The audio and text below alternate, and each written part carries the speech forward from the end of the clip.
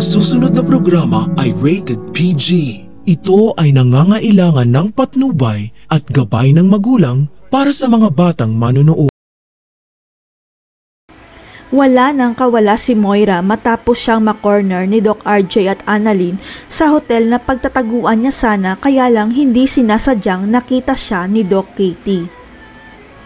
Walang kamalay-malay si Moira na pinapahaba ni Doc Katie ang usapan nila para mahuli mismo ni Doc RJ ang asawa niyang kriminal at tagumpay naman ang plano niya sapagkat dumating si Doc RJ sa hotel na nanginginig sa galit dahil sa ginawang pagtulak ni Moira sa kanya at gusto niyang malaman kung ano ang totoong dahilan nito. Siguro may pag-asa pang mapatawad ni Doc RJ si Moira kung sasabihin nito ang totoo na tinulak siya sa hagdan dahil hindi siya ang tunay na ama ni Zoe kundi si Doc Carlos. Kahit nakita na ni Doc RJ ang CCTV footage ng pagkahulog niya, hindi pa rin bumalik lahat ng kanyang alaala lalo na sa katotohanan na hindi niya tunay na anak si Zoe. Hanggang sa biglang nawala ng malay si Moira habang kinukumpronta siya ni Doc RJ at ang akala nila nagpapanggap lang ito pero hindi pala ayon sa diagnosis ni Annalyn. Kaya nagdesisyon si Doc RJ na dalhin si Moira sa Apex para mabantayang mabuti at hindi na makatakas pa kaya nag-offer si Nars Karen at Ivan na sila ang magbabantay. Kahit na booking na ang sikreto ni Moira, hindi pa rin maamin ni Zoe ang totoong dahilan kaya tinulak ni Moira ang daddy niya, ang sikreto na hindi siya ang totoong anak ni Doc RJ. Pati si Doc Carlos parang walang balak na sabihin ang totoo kay Lynette Siguro panatag ito na hindi ibubunyag ni Doc Lindon ang sikreto nila ni Zoe pero nagkakamali siya. Sapagkat si Doc RJ mismo ang makakadiskubre ng sikreto na hindi niya totoong anak si Zoe dahil sa nakita ni Manang Nelia sa kagamitan ng amo niyang si Moira.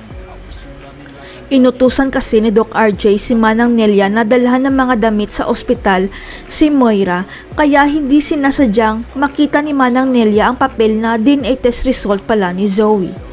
Nang makita ni Manang Nelia ang DNA test result ni Zoe na negative, tumigil ang mundo nito dahil natuklasan niya na hindi pala totoong anak ni Doc RJ ang alagad niyang si Zoe. Kaya dali-daling ibinigay ni Manang Nelia kay Doc RJ ang DNA test result ni Zoe at biglang gumuho ang mundo ni Doc RJ dahil biglang bumalik ang lahat ng kanyang alaala. Matatandaan na bumalik rin ang alaala ni Doc RJ noon nang makita niya ang picture ni Doc Fidel kaya sa ikalawang pagkakataon ng DNA test result ni Zoe at Annalyn ang susi.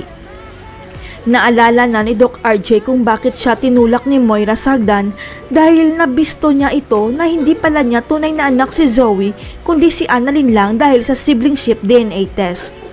Pero kahit alam na ni Doc RJ na hindi niya tunay na anak si Zoe, mahal niya pa rin ito kaya kaya niyang patawarin si Zoe sa mga kasalanan nito pero maliban kay Moira.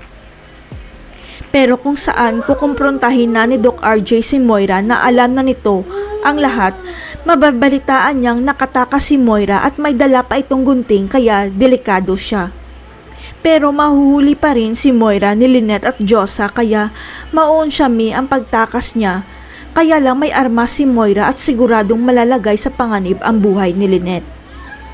Mapahama kaya si Lynette sa kamay ni Moira o may sasagip sa kanya bago maging huli ang lahat. Hindi na kaya matutuloy ang kasal ni Doc Carlos dahil mabibisto na ang sikreto niya abangan